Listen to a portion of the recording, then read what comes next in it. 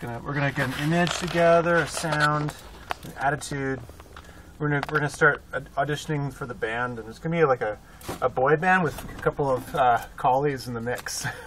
Border collies? Yeah, they're gonna be running around like Neil Southern Man.